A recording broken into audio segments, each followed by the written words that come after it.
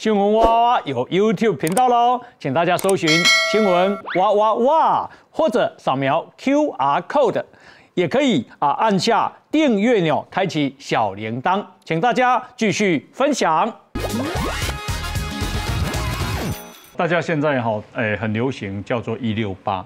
哦，对，那请教一下婉平，就是五位郎今天的用一六八，那也如假如海啊。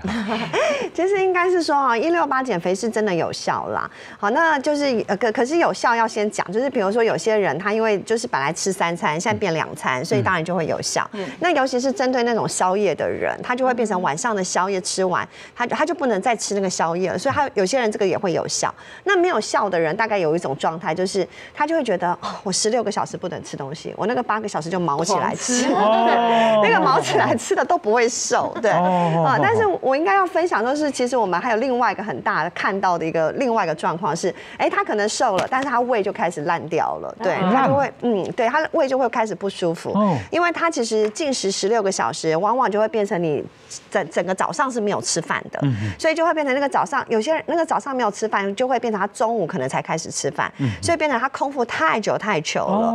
那你知道我们的胃酸其实是你没有吃东西，其实胃酸还是分泌哦，它只是食物来的时候更多。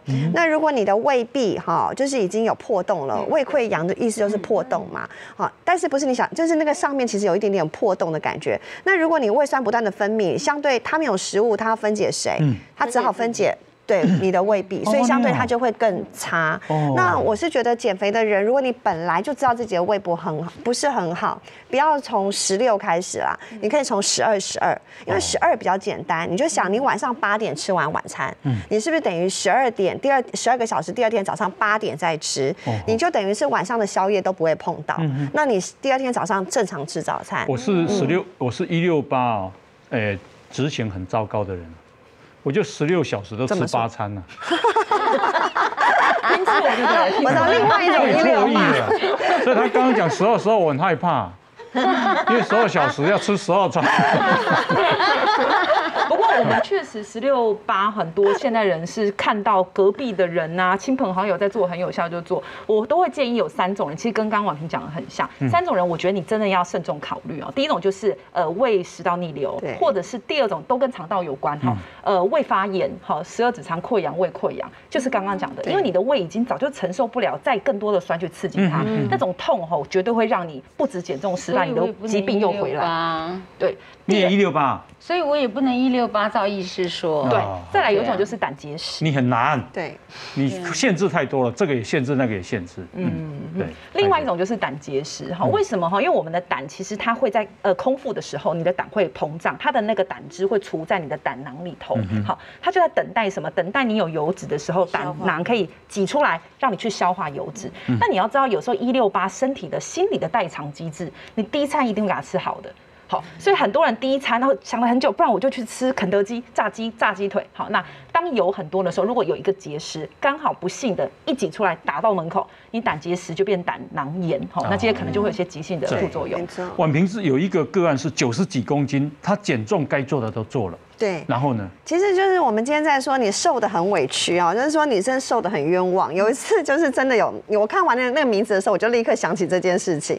就是我有一个那个减重门诊，然后他那个时候是九十几公斤的男生，我已经忘记高了啦哦。但是因为他就是一个非常认真，他那时候大概二十九这样子，然后每天都去游泳哦，早上都去游泳哦，超认真的。然后他就会传他的三餐给我，他三餐其实有一餐就是比较没有那么好，就是因为是上班族嘛，所以三。有一餐就是便利商店餐，然后那有时候我就会看到吃凉面。其实讲实话，凉面再怎么那个不能说那个牌子啊，但是就是有个吃的很饱的那个 牌，那个就大概热量就就是热量虽然高，可是因为它其实我们那时候去看它整体的消耗量跟它的呃总热量需求，它是 OK 的。然后呢，因为我们做门诊做久了，你就会知道这个这个门诊的人说的话是真话还是假话，你就会大概知道了。真的，你就会觉得这太奇怪了，运动量又这么高，然后其实三餐就是走中餐不好，可是早餐跟晚餐很克制、很认真，怎么不会瘦？所以我就觉得太怪，怪到我后来就跟他说：“哎，你这样好不好？”因为他看了两个礼拜，因为两个礼拜这么胖的人一公斤都不瘦是太奇怪了，你知道吗？所以我跟他说这样好了，我帮你就是预约我们的门呃加加医科，你去看一下加医科。那我就跟我加医科的医生说，哎，你帮我注意一下这个人，好他的状况。后来他验完以后，结果他就是一个甲状腺低下，对，而且他哦对，所以他而且他甲状腺低下，后来我就说，那你先不要来我这边，你先去医生那边，先你先去把你的甲状腺先调好，调完三个月你再来找我。对哦，所以他后来就很顺，所以就会跟大家分享，就是有时候你真的就是瘦的很胖的很冤枉，其实是有很多的内分泌的问题啦。是是是对，然后内分，泌，对。那包含就是刚才像新妹说的，就是那个内分泌包含了压力，也会造成很多很多种的压力，嗯也会造成你的里头的胆固醇，就是不是胆固醇，就是我们的像发炎反应，就像是你没有吃类固醇，但是你吃了类固醇嗯了解，对。哎，那请教一下，因为我看那个电视那个大胃王啊，有有那女生啊，哇，吃了几十碗呢，那真的很厉害。哎他们吃完之后到底有没有去挖掉？啊？这个问题可能要问大胃王本人，他到底有没有娃，我不知道。但是这一题我们确实是蛮好奇。你也好奇哦？我当然很好奇，因为我在想说，确实以他的身材跟他的这个大胃王的身 身的身形哈，其实理论上是对不起来。我们先姑且照理说他吃那么多下去，他吸收以后一定会胖啊。对，可是这一题其实我觉得我们反过来，因为我们本人应该没有人自己想的立志就当大胃王嘛哈，但是我们可以把这个当做一个案例哈。我相信你身边一定有两种人，一种人就是他很瘦，可是他不忌口，狂吃哈；另一种人是他超忌口。可是他一直不是瘦的那个，瘦不下来是胖的人。我觉得只要你知道你是哪一种，好，你大概就会心里知道你是不是有那个下面要处理的问题。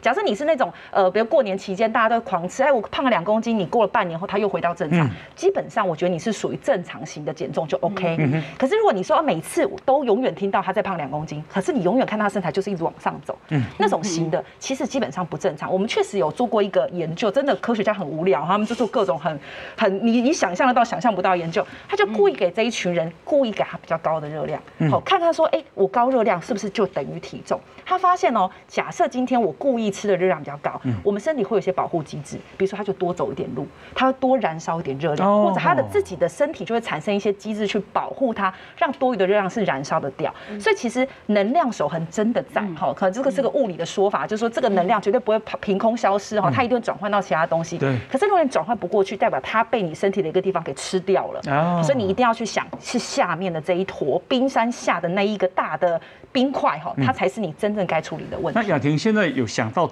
未来怎么减肥吗？我现在就是我我有要准备要找营养师，嗯，对。那我会回去再跟医师研究，因为恐怕现在其实是死马当活马医了，嗯就是饭前血糖三百多这样，我连眼睛稍微模糊都跑去看眼科，你说我紧不紧张？我当然紧张当然紧张啊敢不敢称体重机？不敢，嗯真的也是怕呀，而且我也不敢让我爸妈知道，我爸爸也有糖尿病。嗯嗯，哦，有可能家族遗传哦。对对嗯对，有有可能遗传，但是我认为自己也要负点责任啦。就 maybe 可能肉类吃太多，或者高盐高油不太注意等等。可以讲一下你平常吃的内容吗？我现在多半是外食，嗯，就是因为我们现在手机一按对，然后对，没有没有这阵子疫情我是没有接戏的，然后手机一按就可以送到家里来，就很方便，那也就没有再散热量了。所以我现在等于是不是也要开始完全自己烹饪？二二四，或者比如说我现在的体重可能应该要到两千四百的的对热热量才够，两千四百大卡。两千四百大卡，对，不是而不是一千二，对不对？就是你像就至少要两千卡。没有，你现在热量可能，如果你要达到你的血糖下降，你可能要一千八到一千五到一千八比较安全。然后是比如说像我今天早上门诊，我今天早上都是糖尿病门诊。那我有个客户，因为最近疫情关系嘛，所以两个月他也都就是在家里吃，因为他平常那个太多太多的应酬，所以他就说他真真的是在家里吃，所以他两个月瘦三公斤，就是哦自己煮，嗯，他真的就是自己煮，这样。对，所以就是鼓励你，就是这趁这段时间，好，反正也不太能出去，赶快自己煮，好，然后我们就是照你刚才说的二二四，我觉得 OK，好，那蛋白质，那提醒你那个四就是蔬菜跟水果嘛，是。那你的二的话，哈，其中的主食，我建议你吃饭，真的饭是最安全的主食，好。而，且我现在只是糙米，呃，很棒啊，很棒啊，对我只是哎，不对不对我，白米也不敢碰了。不是不是，对不起，我要更正一下，我不确定这件事情是因为你要先去看你的肾脏功能有没有受到影响，因为有些糖尿病如果肾肾脏又不好，是不适合吃糙米的，那反而是白米饭最安全。对，那这个你下次回诊的时候去看一下你的肾脏功能。那在这段时间不确定，你可以用白米饭，OK，没有问题。目前没有肾脏，目前是没有。好，OK，那就好。对，三个月就一个。你说你连胆固醇也有问题？对，胆固醇，然后脂肪肝。胆固醇有多高？然后胆固醇这一次好像我我不记得了，但应该是两三百也跑不掉吧。两三百或四百啊？标准是多少？两三百或四百，标准这一百多吧？对啊，要看是三现在越来越严哦。在糖尿病，我们会希望在个一百以内。嗯，对。有一个叫低密度胆固醇 （LDL）。对。可是我的糖尿病应该是是不是真的就是代谢的一个问题？呃，然后我是建议你真的回去跟医生研究一下这个打针的东西。然后主食呢，就是避免肠漏症。其实白饭最安全，面粉的东。